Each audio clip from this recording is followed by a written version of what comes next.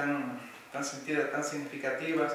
Gracias a ustedes, a los miembros del cuerpo diplomático, a los amigos que hoy nos acompañan en esta especie de, de intención de dialogar con la obra y con, eh, y con un recorrido en el que en cierta medida, aunque a veces no nos demos cuenta, estamos todos implicados culturalmente, porque en realidad eh, ahora cuando se habla mucho del tema del futuro de los libros, el futuro de las culturas, las humanidades, había una serie de planteamientos que ya Pedro Enrique Sureña se estaba planteando y en sus planteamientos hay muchas aristas, hay muchos países, hay muchos espacios. Yo quisiera un poco compartir con ustedes estas ideas. Cuando uno habla de Pedro Enrique Sureña, uno siempre piensa en qué lugar ubicarlo. Si en los 20 años últimos de su vida que se pasó en Argentina, o los 8 eh, y 5 años que se pasó, y 8 y 4 años que se pasó en México, o los 2 años en España, o todos esos años en Estados Unidos, en Cuba, en Nueva York, eh, uno se pregunta a qué espacio pertenece. Pero Enrique Zúñiga pertenece a un espacio, es el espacio de los libros, en una isla donde, debido a su situación histórica, geográfica, eh, le tocó ser centro, centro primero del proyecto de colonización, porque Santo Domingo fue la primera ciudad europea que hubo en América, fue el punto de partida de todo el proceso de colonización y por lo tanto durante buena parte del siglo XVI jugó un papel muy importante hasta que finalmente se descubrieron las altas culturas de México, de Perú. Entonces, en ese contexto, eh, en el final del siglo XIX, la isla de Santo Domingo también es la única, son, somos tres islas hispanohablantes, es una isla que se mantuvo un tanto al margen de España por una serie de razones históricas, y entonces es una isla también, una ciudad que tiene una gran capacidad de acogida. Y ese Santo Domingo, de finales del siglo XIX, estuvo acogiendo todas las crisis que se daban en el Caribe en términos de migraciones. Era una isla donde estaban muchos refugiados de Cuba, refugiados de Puerto Rico, estaban eh, también la figura de José Martí, estaba la figura de Puerto Rico de Eugenio María de Hostos, estaban también haciendo cosas en Santo Domingo. Ese niño que nace en 1884, que fue Pedro Enrique Sureño, tenía un tío que fue Federico Aceríquez y Carvajal, a quien Martí le llamó hermano, a quien, le dirigió una, a quien le dirigió una carta que luego se convirtió en el manifiesto de Montecristi. Y ese niño al mismo tiempo ve cómo por su casa pasa José Martí, cómo por su, por su casa pasa también eh, debido a que su padre trabajamos con él, la figura de Eugenio María de Hostos, que fue una figura muy importante porque no solamente trabajó en Santo Domingo, sino que fue llamado desde Chile para, en 1893, reformar la educación en el país sudamericano. Entonces, al mismo tiempo, vemos cómo el Caribe todo se está moviendo, todo se está eh, vinculando. Cuando Hostos hace ese viaje de Santo Domingo a Chile, una de las cosas que más le impresiona fue la migración china en Perú y escribe sobre ese tema. Entonces ese niño que tiene 10 años, ese niño que se está empapando de ese mundo de crítica, ese mundo de literatura, que ve básicamente en función de los libros, ese niño ya a los 13 años comienza a traducir, ya comienza a vincularse con otro idioma. Entonces un caso muy particular, cito esto para mostrar un poco cómo en un país en una ciudad que tiene menos de un kilómetro de largo, en esa ciudad se produce una educación muy intensa en idiomas, en visiones, con los clásicos. Y entonces, de repente, gracias a ese contacto con todos esos temas que se producían en ese momento, ese niño logra captar un poco lo que es una eh, quizás demasiada intensidad con respecto a las ideas y sus visiones. Entonces, él aprendió desde, niño un tema muy importante y algo que se discutía en el ambiente y era cómo el arte, cómo la literatura, cómo el conocimiento era algo que creaba o podía coadyuvar a una personalidad bastante fuerte y consistente. Ese niño de 13 años se va a los 16 años, tiene que irse a Nueva York y comienza en 1901 todo un periplo por... Eh, hasta que muere en el año 46. En el 1901, en 1900, está pasando algo muy importante en América Latina y es el hecho de que ya se asume un proceso de descolonización, tema de, bueno, distanciarse de España por todo lo que significó el tema del imperio, las colonias. Y al mismo tiempo en América Latina está pasando algo muy importante y es un libro, El Ariel, de José, de José Enrique Rodó, un libro que va, con el que se inaugura el siglo XX, no solamente en el aspecto cronológico, sino en el aspecto conceptual, porque es un libro, es una discusión en torno a cómo nos imaginamos la modernidad, cómo nos imaginamos la relación con los Estados Unidos, con el imperio. Entonces es un libro que va a generar una serie de discusiones en todo el ámbito de América Latina y vemos algo muy interesante. Con este libro comienza en cierta medida la vida de editor. Pedro Enrique Sureña está en 1901 en Nueva York. Este libro ya se ha publicado, ya se ha, eh, se ha estudiado en Santo Domingo. Y este libro, entonces, va a ser motivo de estudio. Cuatro años después, cuando Pedro sale y se va a Cuba, a La Habana, publica un libro a los 21 años, ensayos críticos, y ya en este libro está definido lo que son sus grandes intereses. Este es como el punto, no solamente cronológico de partida, sino la propuesta eh, conceptual de cómo pensar el mundo. Pensar el mundo en el arte, pensar el mundo en el pensamiento, en la música. Muchas gracias por el soundtrack que estamos. Eso ya estaba programado. Entonces, eh, bueno, ese ambiente de Cuba eh, se, reduce bastante. De Cuba, 1905, ese joven de 21 años parte a México. México entonces comienza realmente lo que es ese proceso de, de, búsqueda, de encuentro, de compartir. Él se va con todos esos libros que se ha leído de los autores ingleses, de los filósofos del siglo XIX, como Walter Pater, por ejemplo, que después va a traducir. Él se va con el Ariel de Rodó y es interesante ver cómo, en esa medida en el que él eh, llega, encuentra y comparte. En 1906 él conoce llega a Veracruz, después se va a Ciudad de México, y en 1909 se forma el, el, Ateneo de México, donde él será una de las figuras más significativas junto a Alfonso Reyes, junto a Antonio Caso y junto a José Vasconcelos.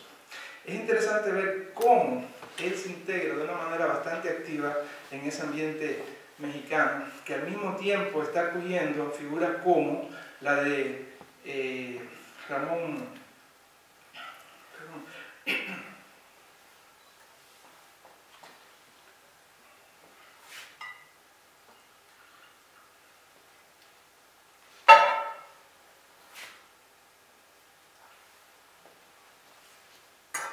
Es decir, en ese momento en México está pasando también el, el, el, paso de una serie de autores con el que se va vinculando y él tiene ya la intención de eh, recuperar en cierta medida lo que son los lazos con España. España hasta ese momento aparecía como el imperio, como eh, la fuente de muchos de nuestros males en América Latina, y él se plantea en cierta medida buscar un diálogo. Y ese diálogo ya lo había comenzado previamente con eh, Marcelino Menéndez y Pelayo, con comunicaciones, con ese envío que le hace de sus libros, y se establece una comunicación no solamente con Menéndez Pelayo, sino también con José Enrique Rodó, también con muchos autores que en cierta medida se están preguntando qué es lo que está pasando. Uno también de los autores que motiva bastante esta discusión es la, la significación de la figura de Rubén Darío. Entonces, vemos cómo Enrique Sureña en cierta medida opera como eh, agitador cultural, como pensador, como periodista, como traductor. Y ese movimiento del Ateneo después va a tener una gran importancia en lo que será la Revolución Mexicana. En 1910 coinciden dos publicaciones que son las primeras de él, así ya México, que son Hora de Estudio, donde se van a sintetizar todo esa, eso que él estaba escribiendo en torno al positivismo, Y también él va a participar dentro del primer gran proyecto que fue la antología del centenario. El, porfiarato, el, el, gobierno de Porfirio Díaz necesitaba un poco cerrar sus más de 30 años de, de dominio con una gran obra que recogiera lo más clásico de la literatura mexicana y en esos dos tomos justamente participó Pedro Enrique Sureña. Es interesante ver cómo en el Ateneo de México está, como vemos aquí en el centro de la foto, está Pedro Enrique Sueña a la izquierda, en el centro José Vasconcelos, y en el extremo derecho está Diego Rivera. Con Diego Rivera siempre hubo una relación bastante intensa y en cierta medida él fue de los protectores al inicio de la carrera de Diego Rivera. Y también en la relación que Diego Rivera luego estableció en Estados Unidos con la Fundación Rockefeller, etcétera, para hacer aquellos famosos murales que después fueron desmontados, como ustedes sabrán. Entonces, es un autor que no solamente le interesa la academia, sino que es un autor que le interesan todas las artes, porque él está muy motivado por esa idea de Nietzsche de concebir la vida, la ética, como una estética. Entonces, entre esos dos elementos, él lo que busca en cierta medida es crear un principio de comunidad, donde la estética, donde el disfrute de los clásicos griegos sea tan importante como la cotidianidad. Y por eso esa visión casi renacentista, como tú dirías, en torno a lo que es la vida, el conocimiento, el trabajo. Pedro le interesa mucho el tema de la educación, le interesa mucho el tema de la síntesis y algo muy importante que en ese momento él se ubica en un punto donde le interesa pensar toda la cultura de América Latina y de España como una unidad. Y en función de eso, eh, hace la primera síntesis de toda nuestra cultura literaria en unas tablas cronológicas de la literatura española que primero se publicaron en 1903, eh, perdón, eso, eso tiene 1913 en México, él lo publicó como un proyecto así en una revista y posteriormente, en 1920, esas tablas cronológicas se fueron publicadas en Estados Unidos y fueron el manual con el que en Estados Unidos se le abrió el concepto de lo que era la literatura española y la literatura latinoamericana.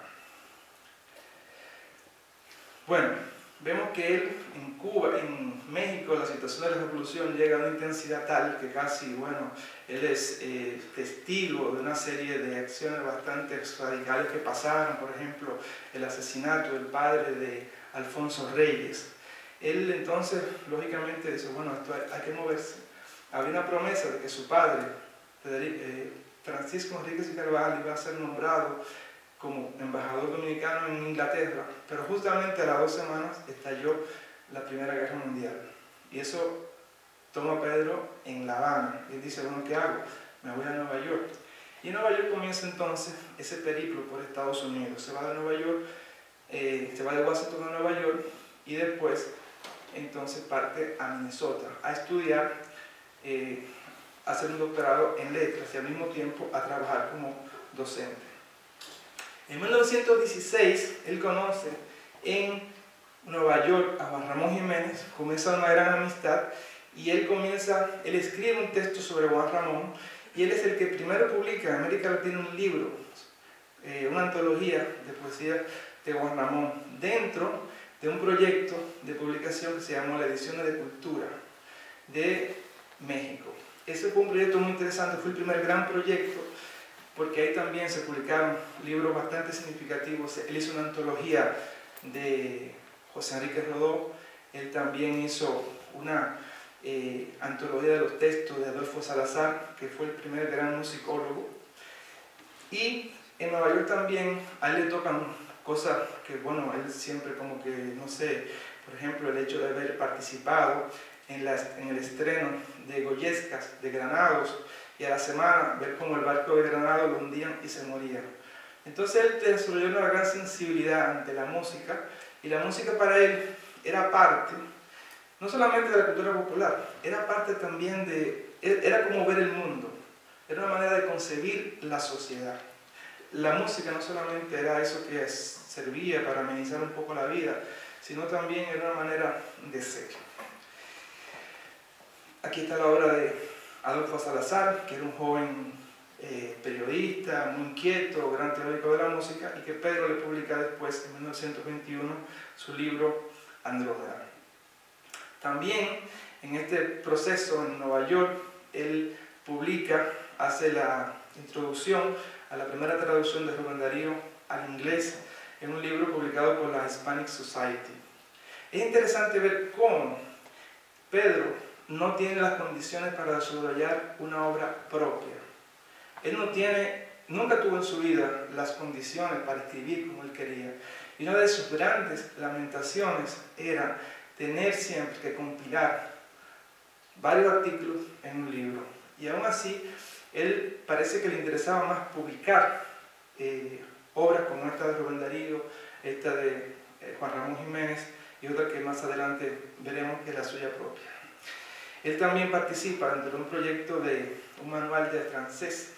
Él lo edita, él trabaja mucho con esta gran editora que era Hit, Hit and Company. Y entonces vemos cómo él se mueve entre el francés eh, y el inglés. En España, cuando él llega en 1920, él también participa de cosas que no están documentadas en términos así oficiales. Traducen el estado de la revolución proletaria de Lenin. Eso, por ejemplo, no aparece en la biografía de Alfonso Reyes, ni aparece en ningún lado de, en la obra de, de Pedro Sureña. Pero, ¿cómo se sabe esto? Se sabe porque cuando él va a buscar trabajo en el Colegio de La Plata, en el currículum pone que él tradujo junto a Alfonso Reyes este libro. Pero al mismo tiempo que está eh, trabajando con Biblioteca Nueva, en este libro de Lenin, también está trabajando con Juan Gómez de la Serna en la traducción de Huerto de Granadas. Pero él lo traduce con un seudónimo, Epe Garduño. Todavía la colección austral, los cuentos de Oscar Wilde, aparecen con el seudónimo de Epe Garduño. Es decir, en España se piensa que Garduño era una, un nombre cualquiera, así como, pero no se sabe que fue Pedro Enrique Sureña. Es decir, que él publica esto, hace un tipo de trabajo, no en función de un proyecto, sino en razón de una sobrevivencia. Y sin embargo, lo que hace tiene un objetivo eh, estético, un objetivo político. Es muy interesante la figura, la presencia de Oscar Wilde en la vida y en la, en la obra de Pedro Enrique Sureña y también de Borges. Es algo para mí muy interesante que los dos tienen vidas paralelas. Los dos comienzan su vida literaria traduciendo, comienzan un poco con la idea de que la biblioteca es un mundo muy propio, un mundo que permite un extramundo en relación a lo que es el mundo de la ciudad, el mundo de la política. Y en cierta medida eh, desarrollan todo un concepto en torno al vivir entre libros. En 1920 él publica también su tesis de estudio que fue sobre la versificación española irregular. ¿Qué le interesaba a él demostrar? Él interesaba demostrar en esta obra cómo en los principios del castellano no había una sujeción al concepto de la métrica, sino que se escribía en función del verso irregular. Este libro tiene una segunda edición, 1933, y este libro le cayó en las manos a Octavio Paz, en Nueva York, en, Estados Unidos, cuando Octavio Paz trabajaba para una, eh, creo que en Hollywood. La cuestión es que este libro le impactó bastante, porque un poco le permitió redefinir lo que era su poética. Vemos entonces cómo la obra de Enrique Sureña va creando eh, lecturas, va creando deudas, va creando diálogos. Y hay muchas zonas donde, por ejemplo, en la obra de Octavio Paz, como su libro El arco y la lira, que pueden tener cierta coincidencia, tanto con este libro como con otro libro que luego vamos a ver que se titula Las corrientes literarias en la cultura hispánica. Bueno, pero, pero Enríquez no solamente traduce, sino que también tiene tiempo para la cotidianidad, como aquí en Salamanca, al lado de su gran amigo Miguel de Unamuno. Con Unamuno hubo una relación también bastante crítica, bastante interesante, y también una actitud a veces de roce con la otra gran figura del pensamiento español del momento, que fue José Ortega y Gasset, que no siempre pudo comprender lo que era América Latina, sino que un poco nos dejaba con ese sesgo de mirada colonial. En 1922 él publica En la orilla, en España, que era un proyecto que se complementaba con otro libro titulado En la orilla, gustos y colores. Este libro, En la orilla, en España, recupera una serie de textos en torno al Renacimiento español, en torno a un gran matemático de España, a una serie de elementos que también nos vinculaban a nosotros en términos de historia colonial. Y este segundo libro, En la orilla, gustos y colores, es un libro en base a aforismos. Es un libro que lo publicó en una serie de revistas y que luego eh, lo dejó en un folder y su hija lo donó al Colegio de México. Yo encontré hace ya unos cuantos años este libro en México y bueno, está publicado, lo hemos publicado y yo he traído una serie de libros que le vamos a donar a la Biblioteca Mario Vargas Llosa de este instituto y me place mucho como un poco eh, publicar lo que el maestro dejó así en ese folder.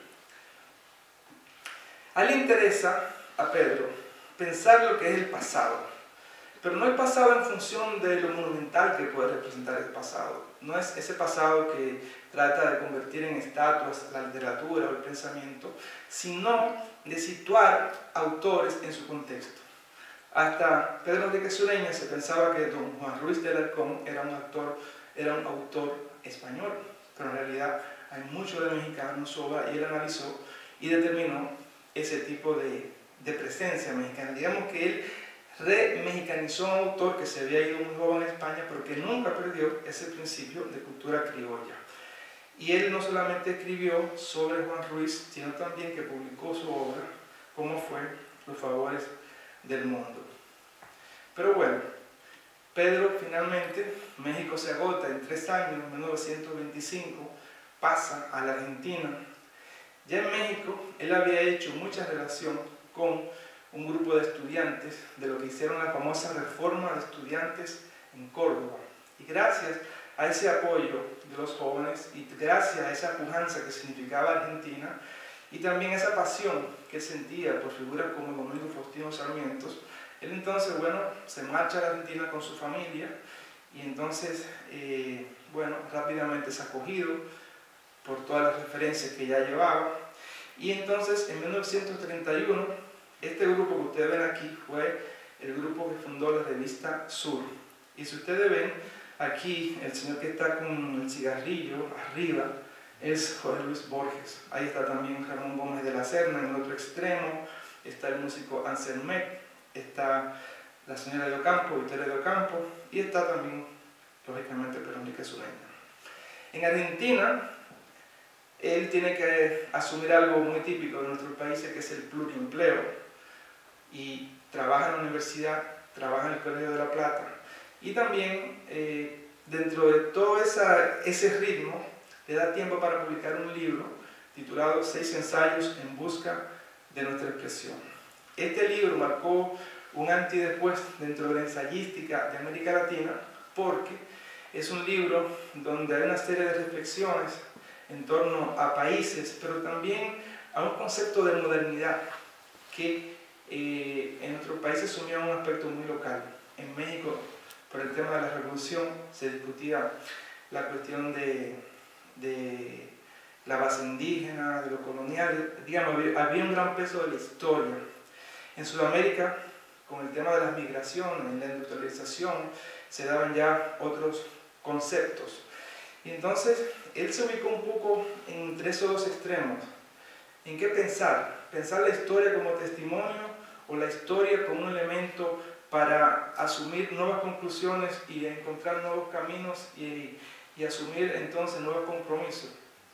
Entonces, en este libro, Seis ensayos en busca de nuestra expresión, él se plantea el mundo que nos rodea y el mundo en el que nosotros estamos. Y por ejemplo, hay un, un ensayo muy interesante también sobre los Estados Unidos, porque en cierta medida nosotros somos función de ese, de ese saber y de ese ser colonial. Dentro de esa obra que él hace también, hablaba hace un momento de Borges, él también con Borges en 1928 más o menos publica esta obra, que es una manera de pensar la literatura argentina. Vemos cómo en 1910 él ya había recibido el contrato para ese gran proyecto de la antología de la literatura mexicana. Ahora, con Capeluz, hace este trabajo con Borges. Y ya aquí se da, vamos a decir, el Borges, el Borges más académico, el Borges que trata de, un poco de adaptarse a ese concepto de cómo pensar la Argentina en sus 200 años de historia literaria. Publica también La Utopía de América, que es un libro muy esencial. En la República Dominicana hemos establecido el premio Pedro Enrique Sureña y hace dos años se lo dimos a Ernesto Cardenal y Ernesto Cardenal hace un trabajo bastante brillante en relación a cómo este texto de la Utopía de América tiene una vinculación muy orgánica con lo que fue la teología de la liberación. Entonces él hacía una lectura comparativa bastante interesante, un poco para demostrar que la filosofía no solamente es un sistema para conocer y para complicarse el mundo a veces, sino también que es una manera para uno un poco plantear un tema esencial para Enrique Sureña, que es el tema de la justicia social. Y bueno, también publica, recupera un autor español, Luis Carrillo y Sotomayor, y siempre se da ese proceso en él. A veces publica en un año tres textos, cuatro textos que quizás no tienen nada que ver uno con el otro, pero se debe básicamente al hecho de que hay urgencias económicas, hay trabajos que pasan, pero todo trata de darle calidad. Como por ejemplo en esta reflexión del sobre la novela en América. Para él la novela en América era eh, la ficción, no solamente jugaba un papel de uno un poco evadirse, sino también de uno cómo plantearse su propia realidad. Es decir, la ficción es también lo más real que puede producir una sociedad. Y bueno, la labor editorial de él en los años 30 se estuvo muy pendiente de Spasa Calpe fue la primera gran editorial moderna de España que cruzó a América y entonces el representante de Calpe en Buenos Aires era Gonzalo de Lozada. Entonces, en Buenos Aires eh, se dio la idea de filtrar una serie de autores españoles, publicarlos en América Latina y al mismo tiempo recuperar algunas obras. Pedro publicó las obras escogidas de Sor Juan de la Cruz, lo, hizo sin su nombre, muchas cosas no firmaba. Y al mismo tiempo eh, recuperó El Azarillo de Tormes de Calpe, pero publicado en Buenos Aires en 1937.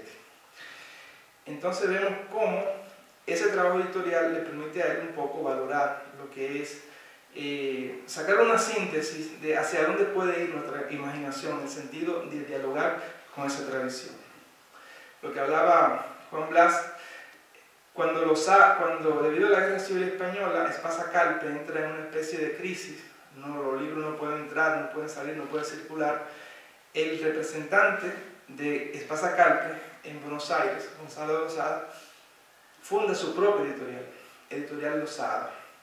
Pedro se convierte en accionista, se convierte en editor, en corrector, en lector, y entonces a Pedro se le ocurre, a partir del éxito que tuvo la colección austral, que ustedes saben es una, eh, es una eh, colección que es en función de los colores, el color morado son las novelas, el negro es el teatro, entonces algo muy bonito, muy práctico, y ese concepto del pocketbook, del libro así de mano, fue el, fue el gran hit que tuvo, el gran éxito que tuvo eh, la colección austral. Él retoma esa idea, la reformula, la amplía y crea una colección que se llamó Las 100 obras maestras de la literatura universal. La primera obra, la primera publicación de esas 100 obras era El Facundo de Sarmiento. Entonces la idea era ofrecer un producto de calidad en función de una edición en tapa dura o si no en tapa blanda, pero todas tenían un respaldo de un buen prólogo, buenas ediciones con notas, y él entonces empleó a una serie de amigos de él. Empleó a Pedro Salinas para que versificara el, cantar de Cid. Y así empleó a muchísima gente, a muchos intelectuales argentinos también, y lo implicó en este proyecto. Así publicaron, lamentablemente no se pudieron publicar las 100 obras, llegaron como hasta 40, pero lo interesante es que eran obras populares. Y estas obras eh, jugaron un papel muy importante, porque le ofreció un producto de calidad y al mismo tiempo eh, era algo que circulaba por toda América Latina. Y gracias a Editorial Lozada comenzó una especie de renacimiento de la industria editorial argentina en función también de lo que pasaba con España.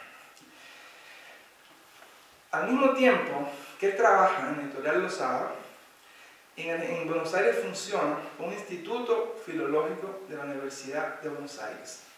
Es un proyecto que se había creado a finales de los años 20 y que lamentablemente tuvo un primer director, Américo Castro, que lamentablemente en ese momento, en 1925, lo que primero hizo fue discutir con Borges. en ese momento, con todo el tema del nacionalismo, había una serie de escritores que se planteaban que el argentino era un idioma, ¿no? Y Américo Castro, con toda su eh, razón castellana, etcétera, dijo que no, que cómo iba a ser, que eso era un sexo, etcétera. Pero lo planteó de una manera poco fina. Entonces, bueno, lo que hizo la central en España, Ramón Méndez Pidal, fue enviar a un joven autor que recién se había graduado, había llegado desde Hamburgo, que era eh, Amado Alonso. Amado Alonso llegó en 1927 y entonces, lógicamente, se trajo a Pedro a trabajar en el instituto. Y lo interesante de este instituto es que ellos comenzaron a plantearse una serie de libros donde se iban a trazar lo que era el castellano de América. Cómo hablamos, por qué hablamos, cuáles son los referentes que hay, los grupos sintácticos, dialectológicos, etc. Entonces, en los años 30, comenzaron una serie de publicaciones en torno al castellano de América. Y al mismo tiempo que, que se trabajaba de la manera, al nivel más, vamos a llamarle científico, Amado Alonso fue el primer traductor de Saussure, del francés, ¿no? y también tradujo a, a un gran romanista alemán, que era Karl Fossler.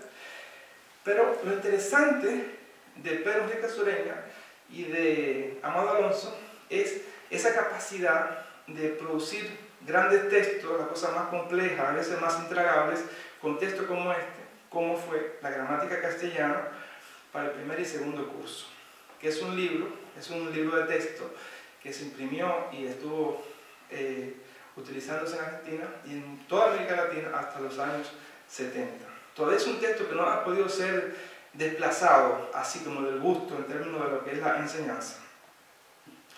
Y bueno, Pedro en Argentina tiene una situación muy particular, mucho trabajo, pero en el sitio donde más se le acoge, más se le aclama es en Montevideo, es en Uruguay.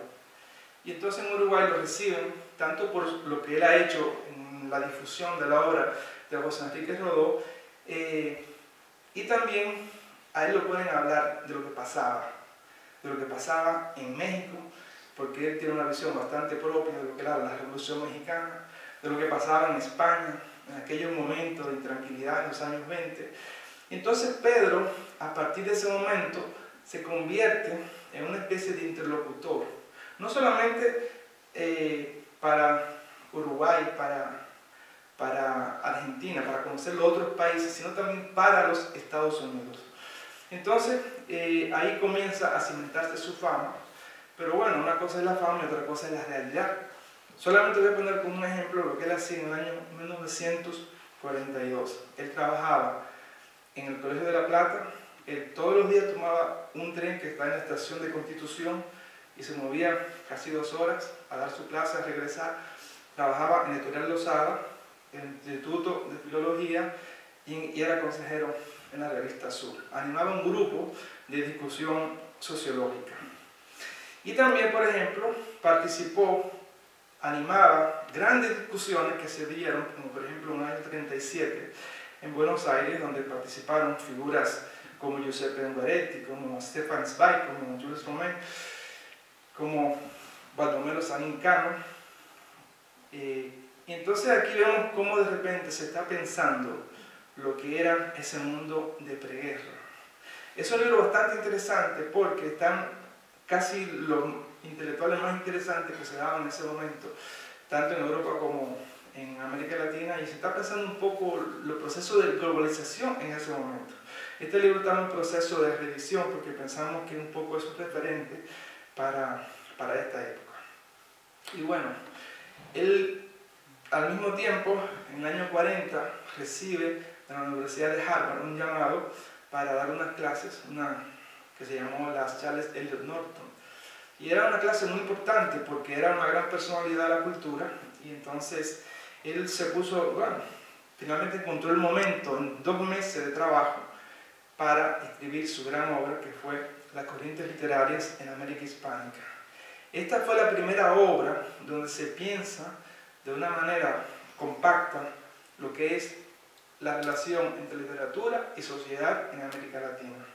Y tiene el encanto de que incluye también a Brasil como parte de la cultura de, de la América Hispánica.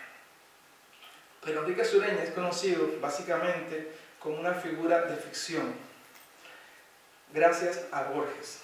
Esta obra, obra crítica, que reúne la mayoría de sus libros, fue publicada en el año 1960 y tiene un famoso prólogo que le hizo Borges.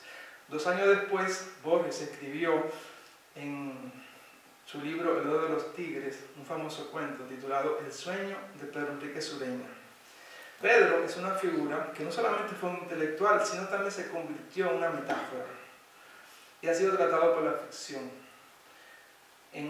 Hace un tiempo hablaba de que él también fue incluido en la novela La fiesta del chivo de Mario Vargas Llosa, porque él vive en Santo Domingo, entonces él se convirtió ya en una figura de esa que tiene que ver con el Caribe, aunque si uno entiende el Caribe acostumbrado, quizás la figura menos caribeña se llamó Pedro Enrique Sureña. Hay algo interesante, voy a volver un poco a la obra crítica. Esta obra se la publicó editorial eh, el Fondo de Cultura Económica. Cuando se estaba formando el Fondo de Cultura, que fue la gran empresa estatal que tuvo México en términos culturales, la dirección cayó en manos de uno de los discípulos de Pedro, Enrique Sureña, se llamó Daniel Cosío Villegas. Y entonces lo primero que hizo Daniel Cosío Villegas fue pedirle a Pedro un listado de obras para publicar y crear la Biblioteca Americana. La Biblioteca Americana se pensaba como la gran biblioteca que iba a dar conocimiento de lo que eran las grandes variedades de nuestras culturas en América Latina. Y entonces eh, Pedro le mandó el listado y esto se, fue, esto se publicó eh, y constituye uno de los fuertes del Fondo de Cultura Económica. Un listado que comienza con el Popol Vuh y va yendo por diferentes países y va publicando Bartolomé de las Casas, también los temas de actualidad, los temas de política. Y bueno, cuando uno compra esos libros de Fondo de Cultura Económica siempre va a haber, siempre va a haber eh, esa nota, biblioteca fundada en honor de Pedro Enrique Sureña. Pedro también es un autor actual, uno puede ir a la Casa del Libro de Madrid y comprarse la edición de la Odisea, publicada por Lozada, y en esa obra actual podrá ver que hay que uno tiene el prólogo de Pedro y la edición que hizo Pedro en el año 41. Es decir, que estamos frente a un autor que no solamente pertenece a una época, sino que tiene una especie de, legado. Y lo más interesante en él, a mí no me gusta mucho crear ese concepto de endulzamiento, lo más grande, lo más importante. Yo pienso que lo más interesante de él es que acerca al lector a una sensibilidad de la calle, donde lo más interesante de la cultura son los principios de cultura democrática. Cuando yo estudiaba sociología, siempre que tratábamos el tema del marxismo, de Lenin, siempre se recuperaba esa discusión que hubo en la Rusia de los años 20 en torno a cuáles son los valores democráticos de una cultura. Y Pedro ya estaba pensando eso. Y lo estaba pensando en muchos aspectos, tanto en su trabajo dentro de la formación de la Universidad de México, es decir, su tesis de, para abogado fue sobre la universidad. Y ese texto fue lo que le dio cierta base eh, conceptual a lo que es actualmente la Universidad Nacional Autónoma de México.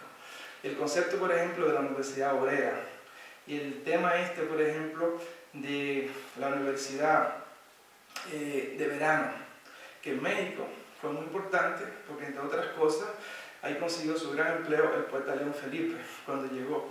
Y León Felipe siempre recuerda con agradecimiento el hecho de que en esa especie de vacío que, tienen, tiene el año escolar entre un semestre y otro, había personas que no tenían la cualificación, pero que sí podían hacer algo práctico, ¿no? Y que ahí se podrían hacer cosas en términos de educación sin tener que estar pensando solamente en los títulos, sino en el concepto de comunicación, de conocimiento. Y entonces vemos cómo esta figura se va moviendo por muchos espacios, por muchos temas, se va fagocitando, en algunos casos se transforma, a veces el gran autor, a veces el gran consejero, pero en todo, en todo lo que hizo, lo que estaba buscando era justamente dignificar el conocimiento, la creación y sobre todo crear una comunidad de personas que sintieran lo que es el valor emocional de la pintura, de la música, y no solamente ese concepto de valor de cambio. Y por eso entonces a mí me ha pasado que cuando he publicado cosas de Pedro, cuando he ido a México o a Buenos Aires, con mucha frecuencia me he topado con personas que me dicen, ah, mi papá estudió con Pedro, mi abuelo. Y entonces, digamos que es un intelectual que, que, no, que no se circunscribe a la academia o a los periódicos, sino que un poco comparte lo más importante de la vida, que es justamente la vida. Bueno, quisiera un poco así llegar hasta aquí, agradecerle su presencia y tal vez antes de pasar a las preguntas, me gustaría hacer entrega de un trabajo que hemos hecho, de una serie, de una serie de explicaciones. Voy a permitir un poco explicarla así muy rápidamente. Estas obras se las vamos a donar a la biblioteca Mario Vargas Llosa del Instituto Cervantes. Aquí está el epistolario de Pedro Enrique Sureña y de Amado Alonso, que recogen esos años argentinos, eh, del año 27 hasta el 46. Aquí está el libro Seis ensayos en busca de nuestra expresión, que tiene a dos autores en el apéndice que son de lujo. El primero es Jorge Luis Borges, ese texto que mencionaba, que es un texto de crítica a Pedro, que no está dentro de sus obras recuperadas, porque nosotros pudimos localizar en México, y también un ensayo de José Carlos Mariátegui sobre el impacto que tuvo este libro en lo que fue su obra, y su reflexión.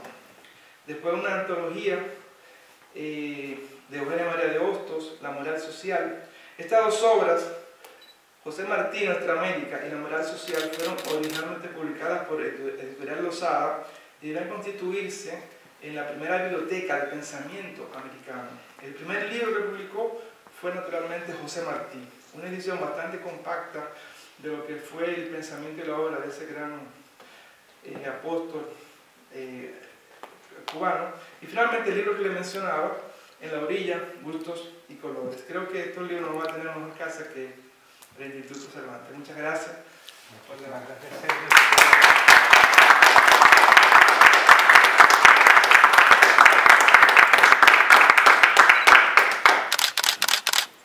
Yo le quiero agradecer a ti, a Sergio Campos, que es una especie de colega, cómplice, una persona para mí muy importante en Berlín.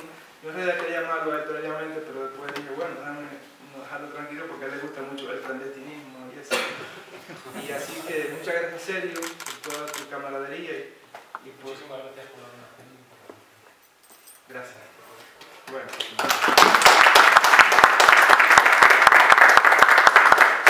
Ahora podemos pasar a las preguntas antes de pasar al brindis, si tienen un tipo de inquietud, de curiosidad, con mucho gusto, o comentario.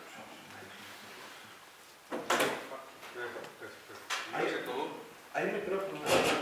Sí.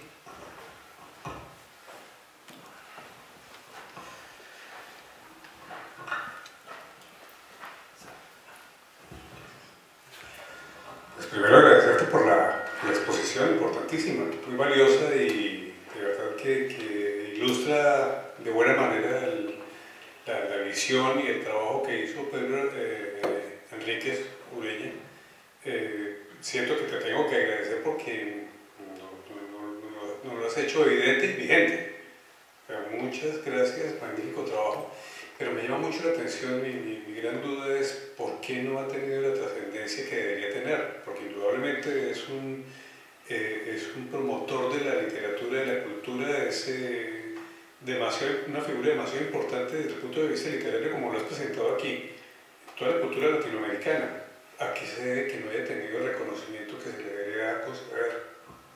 Mira, Pedro Escureña sufrió algo que Octavio Paz explica muy bien en El laberinto de la soledad. Él fue ninguneado en muchos sitios Y en cierta medida lo que pasa es que el conocimiento a veces pasa por industrias culturales muy específicas que hacen un producto y que a veces hay temas y hay cosas que no, sean, que, que, que no son como tan potables así. Te voy a dar un ejemplo. La obra de Pedro fue publicada en la Biblioteca Ayacucho y fue editada por Ángel Rama y por Rafael Gutiérrez Girardot. Resulta que después de esa, de esa publicación en los años 70 en Venezuela, Ángel Rama lanzó un libro titulado La ciudad letrada. Un libro muy importante, muy interesante, pero que en cierta medida dialoga mucho con las corrientes literarias. Pero la gente prefiere leer La ciudad letrada y no un poco escarbar en lo que pasaba antes. Otro dato, en el año 98, Editorial Grijalvo reeditó la antología de Borges y de Enrique Sureña, pero cambió el orden en los autores y puso Borges y Enrique Sureña. Y en la biografía de la, de la solapa interior puso Enrique Sureña, un escritor puertorriqueño. Entonces, imagínate, son de las pequeñas cosas que pasan. Eh, y bueno, en realidad a mí eso no me, me inquieta, pero no me preocupa tanto porque hay personas que en cierta medida eh, son parte de esa, de esa familia Pedro Ureñista. Les voy a poner un ejemplo. Nosotros, el año pasado, en, yo era parte del jurado del Premio Internacional Pedro Enrique Sureña que otorga el gobierno de la República Dominicana en el Ministerio de Cultura. Entonces nosotros se lo otorgamos el año pasado a Mario Vargas Llosa. Y en la conversación así que tuvimos, así en la conferencia que él dio, él señalaba que en los años 50 llegó a Buenos Aires una escritora, Ana María Barrenechea. Y esta señora fue la primera que le habló de Borges. Y gracias a, ella, él entonces se integró en ese mundo. Resulta que Ana María Barrenechea había sido asistente en el Instituto de Filología llamado Alonso de Peronique Sureña y lo ayudó a ambos a hacer una serie de publicaciones. Y entonces él se conectó con Pedro y leyó en esa época seis ensayos en busca de nuestra expresión. Lo que pasa es que ellos con tantas cosas que tiene en su vida, no solamente ha señalado a Pedro y a Alfonso Reyes como dos de los grandes, prosistas, etc. Pero no le dedicado un estudio. Él supuestamente está en eso, va a publicar algo sobre Pedro. Pero la cuestión es que, en realidad, eh, esos son los factores, tú sabes.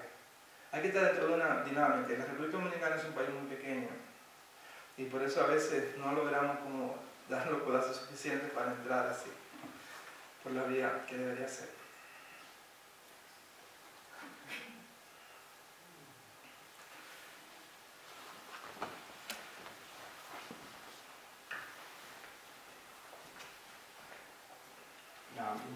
Hacer un comentario a lo que acaba de decir él que me parece que podríamos recolocarlo de otra manera. Es decir, mucho del trabajo de, de Pedro Enrique se desarrolla en Argentina. Y Argentina es un territorio muy peligroso para las figuras que emergen. Voy a ser autocrítico. Vamos a poner esa premisa para no equivocar lo que voy a decir.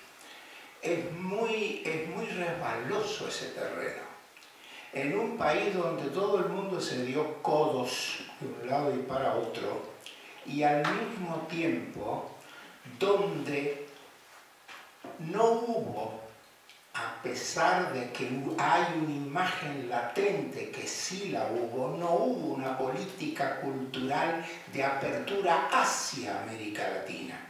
Hubo una política cultural de apertura hacia Europa es decir, reverenciamos Roma, reverenciamos París, reverenciamos Madrid, reverenciamos Berlín. Sin ir más lejos, Quesada, que tenemos nuestro instituto ahí en el Ibero, digo, es un germanófilo.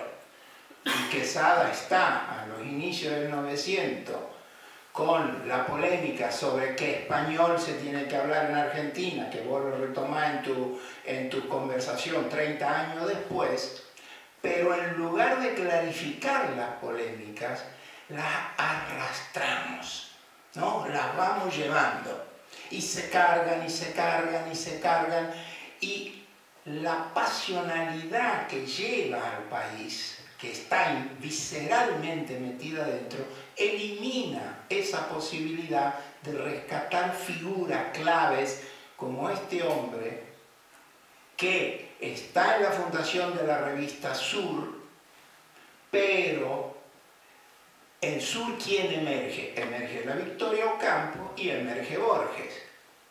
El mismo Marechal, dentro de esa polémica cultural, queda marginado.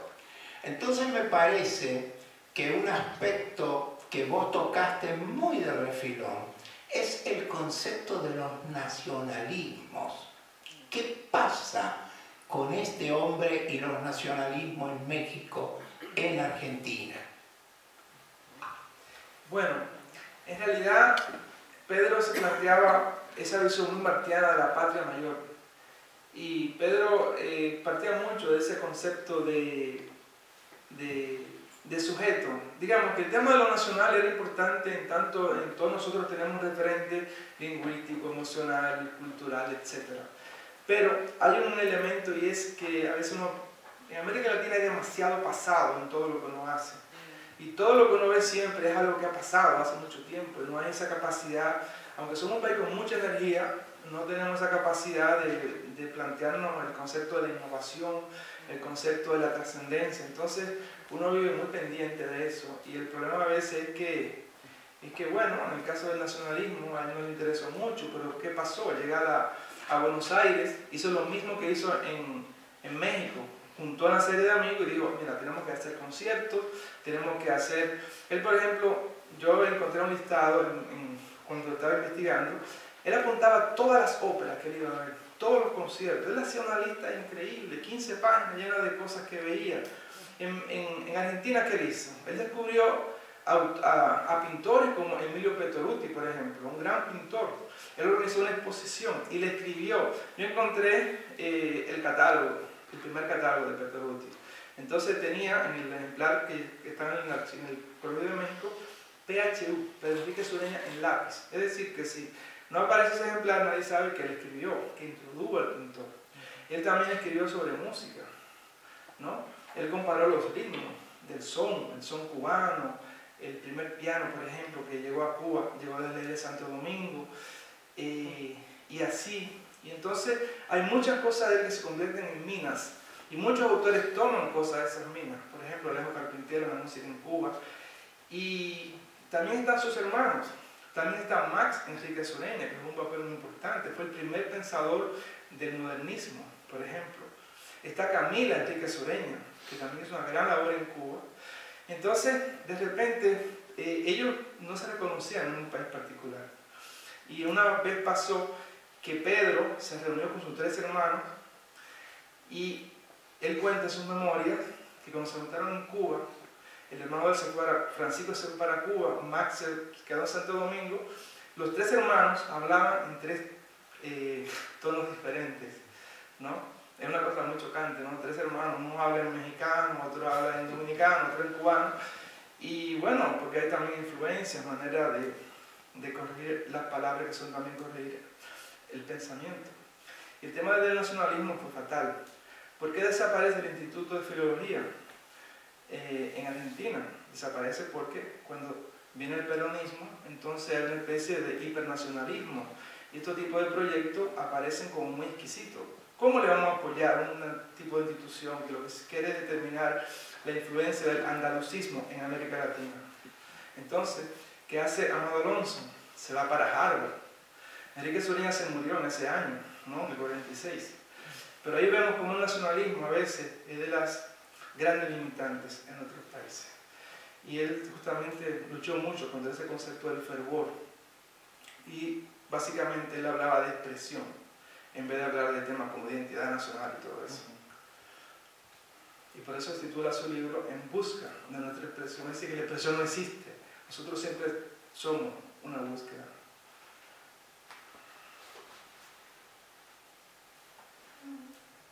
Si hay algún otro tipo de comentario, pregunta. Entonces le quisiera agradecer realmente, muy sentidamente su presencia y vamos a compartir ahora algo para, para tomar aquí. Y muchas gracias a, a, Juan Blas, Juan Blas Delgado por la acogida que nos ha dado de hacer. Bueno, muchas gracias.